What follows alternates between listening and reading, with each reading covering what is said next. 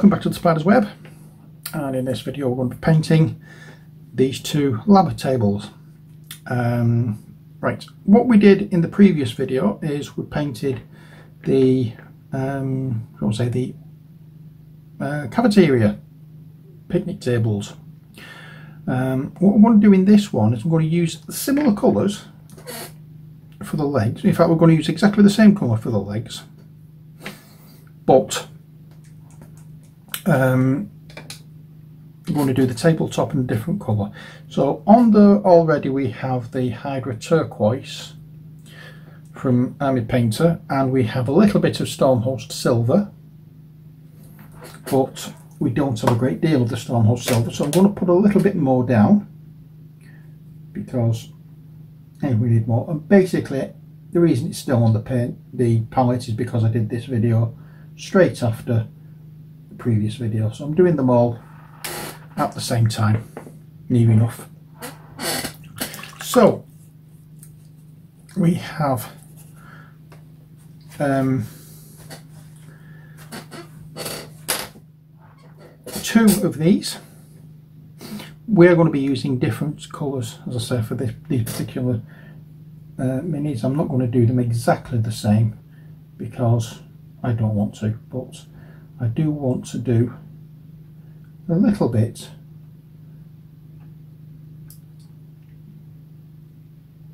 Of um, a similarity.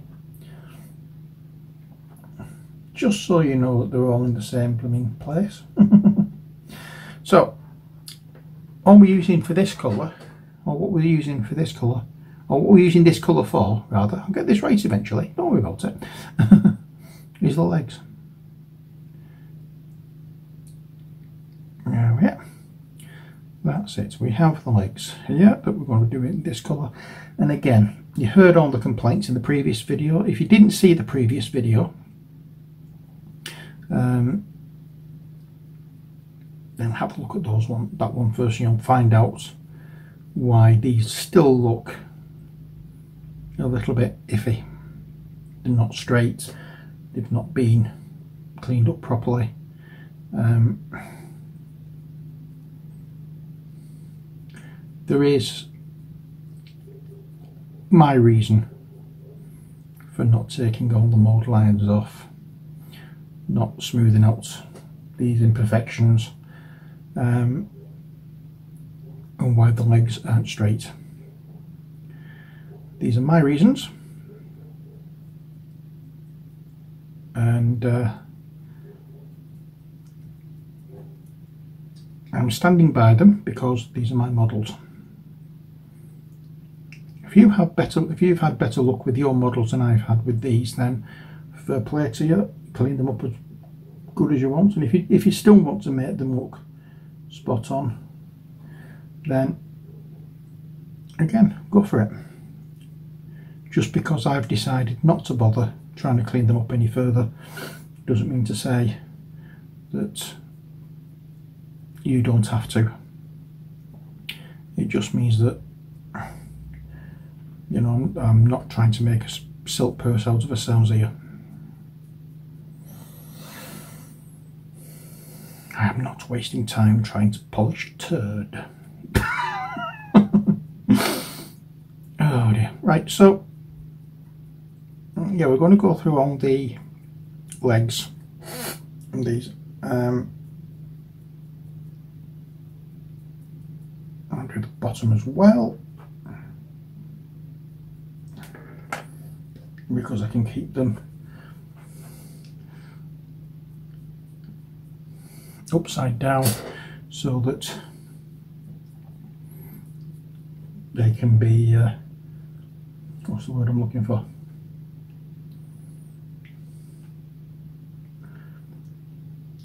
So that they can be allowed to dry properly. That's not got enough the silver in it. That is quite a thick coat that. I'm gonna brush a bit more of the Stormhost silver into this because it's not looking right. There we are.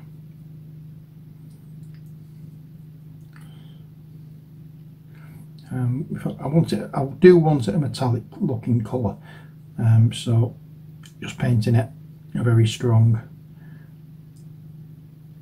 um, turquoise colour isn't going to give that metallic look that I'm looking after. So, you know, although I'm not trying to um, I'm not going overboard with these minis. Um, the fact is I still want them to look a certain way.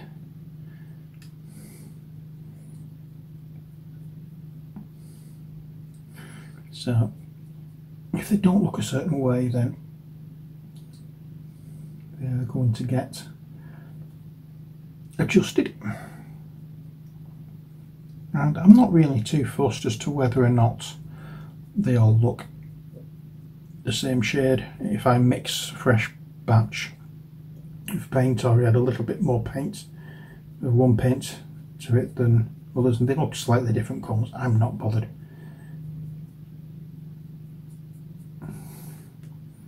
Um,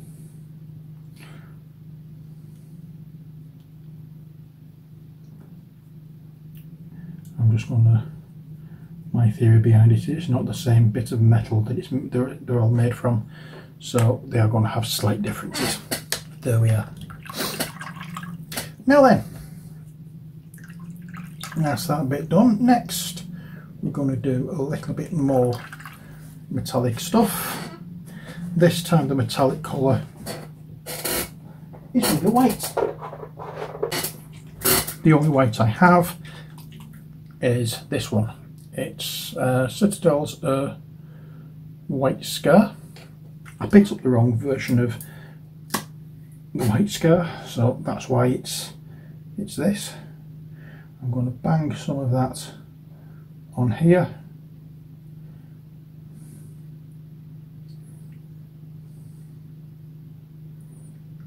And then into that I'm going to put some of the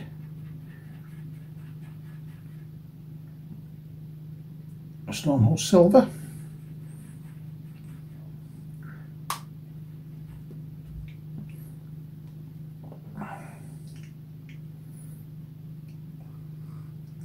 There we are. And that's probably not um, going to all come off by wiping it on the Urgit. So what I'm going to do is use this brush so put it on the top. Now if you saw the doors you will notice that I did the doors in different colours and I'm going to match those colours into this tabletop. Um, it's not a case of divisions or anything like that, you know, like the orange divi the orange is one division of the lab and you know orange is looks like food preparation area and blue is um, scientific or whatever I don't know with that I'm just trying to get all the white paints off this particular brush. I don't want to waste any. Oops. Might have heard something downstairs. Okay so I'll get into the paint that I'm using to actually paint. So we'll just run this all around the edge of the table at the moment. Um, and then when this, when this is done, we will continue with the design on the top because that is something that I want to bring out.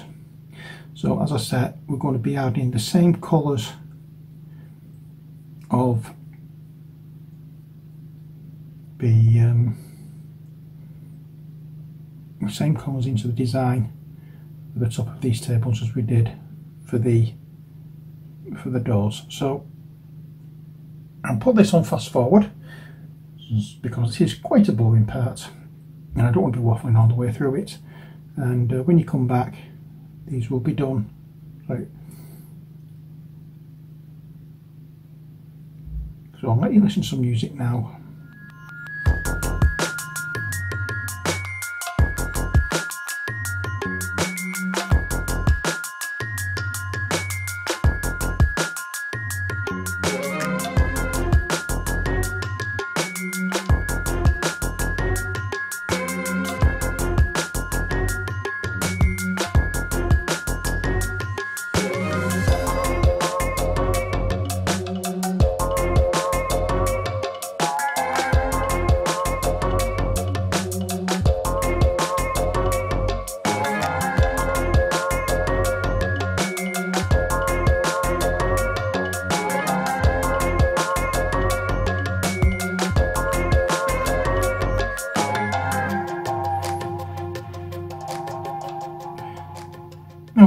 with this, we're going over just the edges around the design. I wanted to make a quite a lighter, light colour. Um, in the background for putting the um, the accent colours on. I want them fairly bright, which is why I went over everything in white. At the moment now, what I'm trying to do is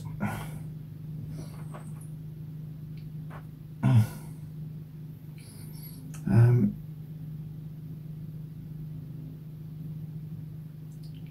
just make the white a little bit stronger on this. I'm not looking for perfect white.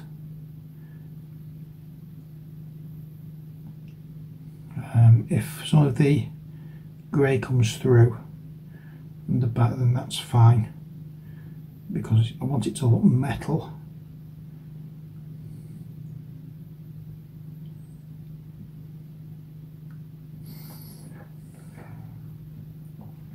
And uh, you might give it a nice touch if it doesn't look completely solidly metallic white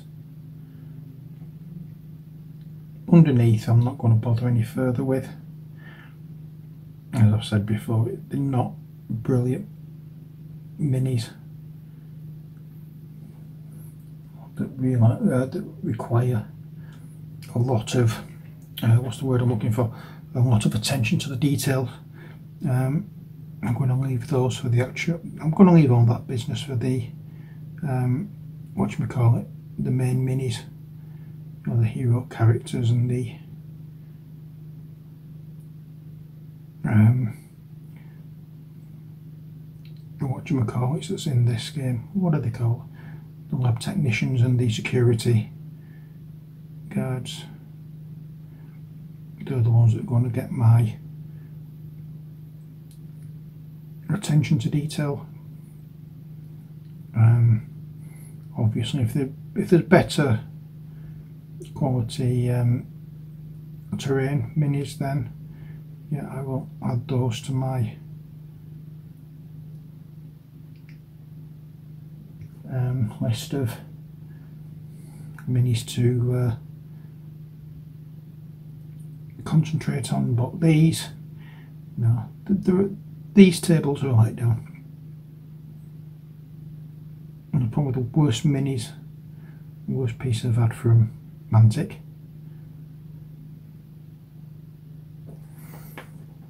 I'm not at all happy with them.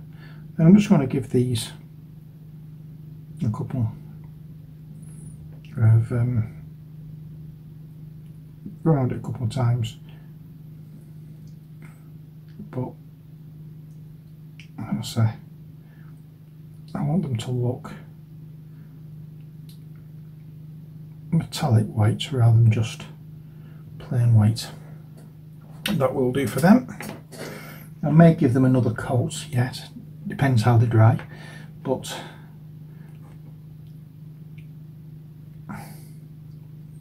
um, at the moment I'm not really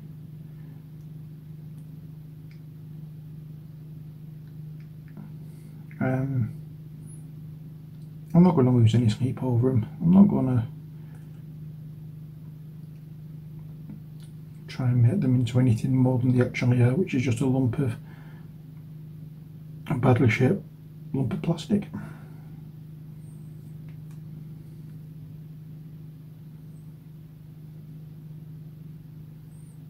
And you can see I made a little bit of a mistake there.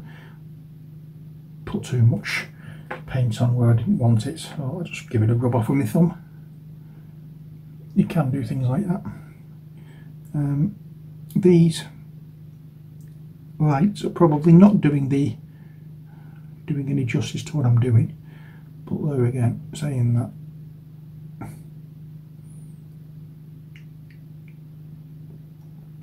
I'm not really doing much to them to be honest so I don't know whether you can actually see where I'm going with this and how it's actually looking.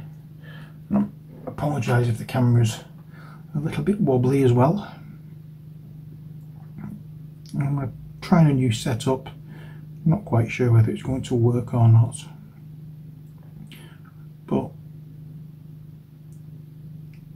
um,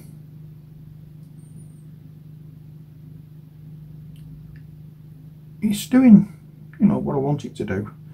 But until I get around to editing because I'm not watching I'm not looking into the viewfinder or the on the screen of the camera to see whether or not it's really badly wobbling.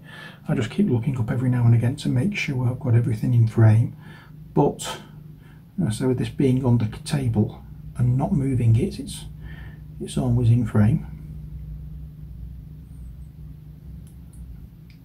So and as I said it's not you know even squeezing you know pressing the the legs are actually bending them out of shape because they, that used to being in a particular shape and it's annoying me. I may actually go under over the bottom of the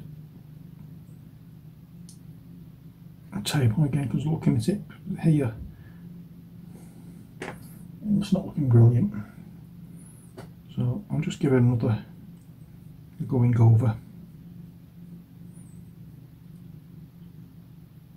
There we are.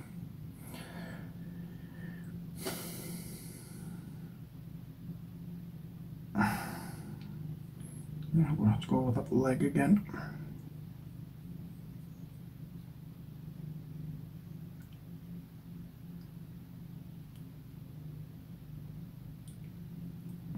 There we go. So that's that. Um, so again, I may. I'm going to keep going backwards and forwards over this, so I will come back um, when it's finished and I'll listen to some music and put these on high speed so you can keep up with what I'm doing.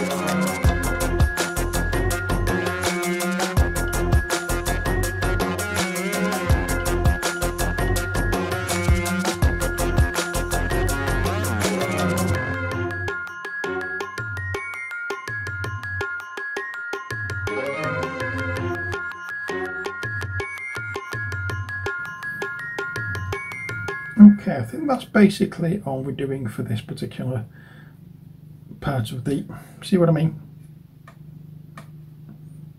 They bend and stay where they're bent to. And unfortunately, that's not what we want them to do. Ah well. So, what's next? Right, so we've had, we've got the white done and the turquoise for the legs. Um, what we did in previous um, videos for the doors is we had an orange mixed with the um, silver colour and we had a blue mixed with the silver colour. So I'm going to add more of the Stormhost silver onto the palette because if we don't use it now we'll use it possibly the next time or probably use it in the next video. Um,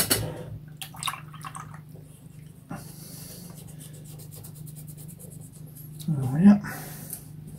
So the blue we're going to be using is this one, Calidor Sky. Mm, just in case you're wondering, that was only sneezing. And the orange we're going to be using is Trolls, oops, Troll Slayer Orange. There we go. So I'll add a little bit of the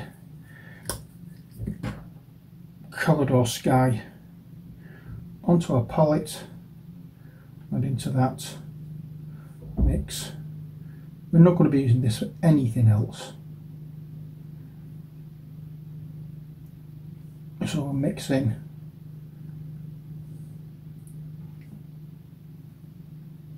I've mixed way too much there because I've put in way too much this as I said we're not going to be using it for anything else I don't think. Oh well, while that one is still wet, we'll start with the, we'll do it with this one. Okay, and round here we're going to be going over and painting even into the little recess there. We're going to be painting the Calidor Sky into all of this central area. And with this being face open, no vertical space isn't right, going to be hitting equally. I'm not going to try any form of fancy highlighting for this. Um,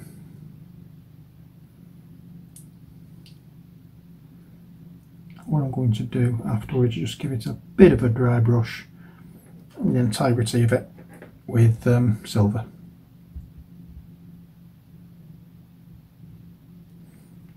So I'm going to make sure that all of this, and I'm going to put a little bit of water into this. I'll take it off the palette.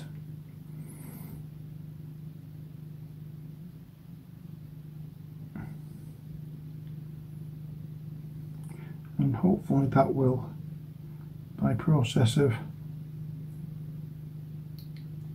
oh what's, what's it called?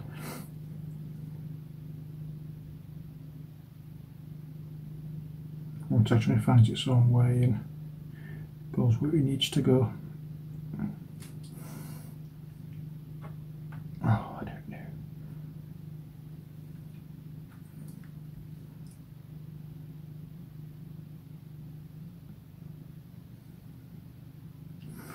area and we probably will have to go back into the white just to touch up a little bit here and there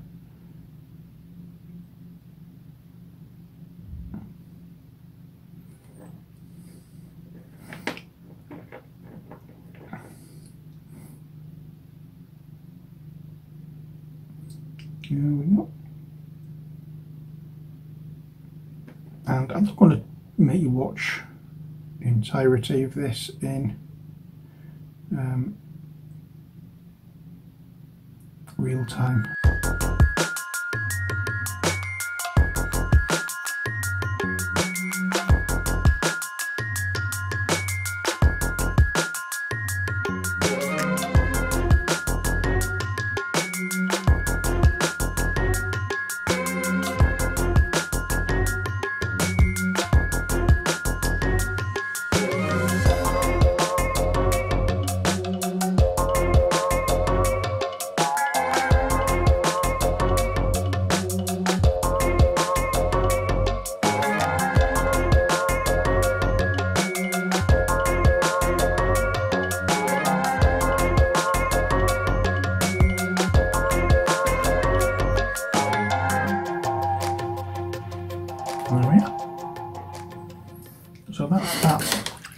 for the blue and now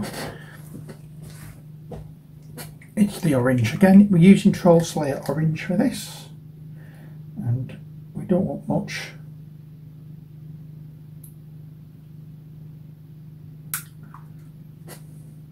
And into that I'm going to put some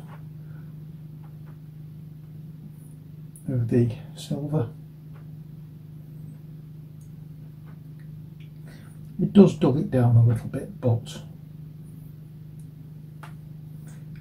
not to worry. Now we change over and we go with this. I'm to add the orange into these little grooves here before we do anything else.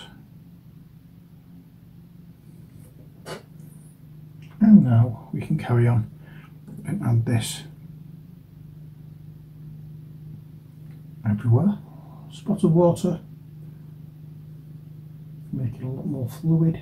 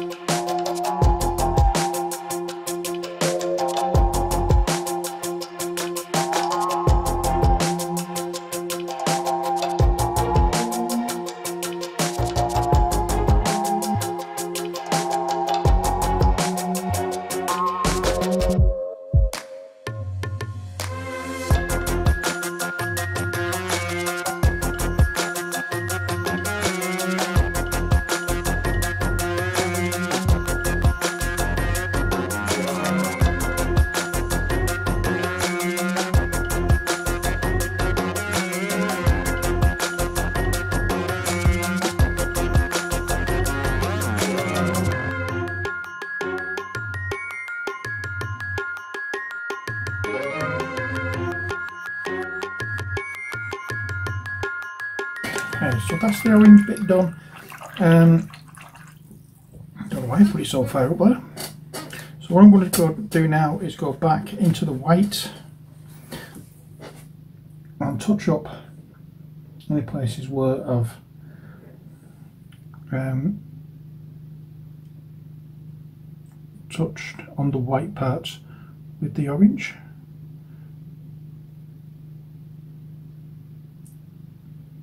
It's not um, an easy job this bit because the white doesn't cover terribly well.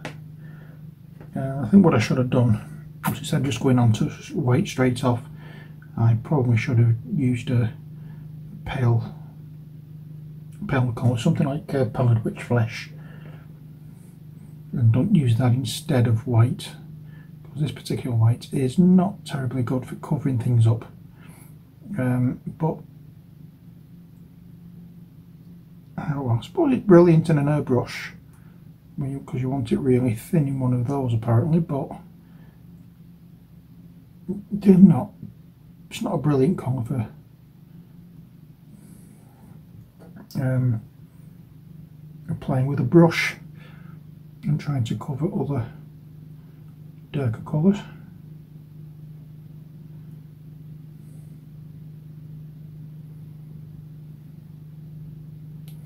So I'm just dotting it on so that the colour actually builds up. Okay, there we are. That's that. So now that that bit's done with the um, orange, I'm going to go back to the blue. I'm going to get my dry brush and the Stormhost silver.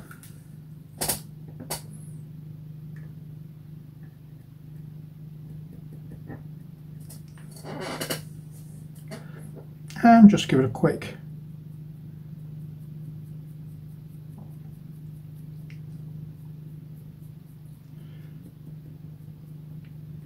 Dry brush all over making sure that the edge of the table gets the greatest dry brush. Not that you're going to see it from a distance.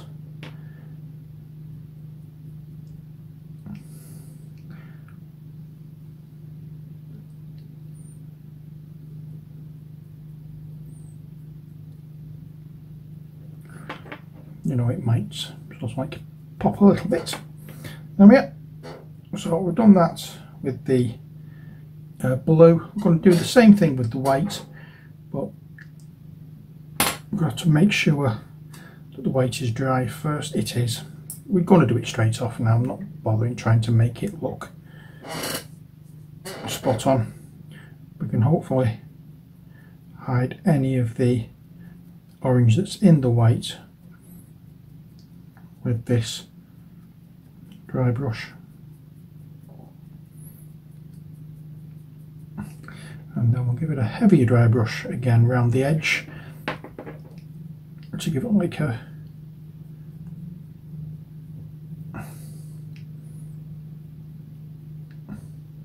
it's kind of like a, an edge highlight kind of thing but not if you get me drift you're just picking out the edge of it. And that will do. So there yeah that's the second two tables for Mantic Star Saga. I hope you've enjoyed these two videos. There are more to come um, I'm going to take the excuse I'm going to not take the excuse um, I'm going to make use of the time I'm quarantined um, I'm uh, hmm. I've been basically on isolation for 12 weeks. This started a few weeks ago. Um, I think I'm towards the end of my third week of isolation. It'll be June before I manage to get out of the house properly again. But um, what we're going to try and do is get as much done of Star Saga as I can over these next oh eight nine weeks okay so that's it for these tables so far we've done those two and those two next we have these desks that we're going to be doing. These are going to be a little more detailed because of a little better quality. Um, I'm still not quite sure what that is but join us next time when we make a start on these two. I may only do one in a video I'm not sure yet but as I said that is it for this video. I hope you've enjoyed it. Until next time as always take care God bless and bye for now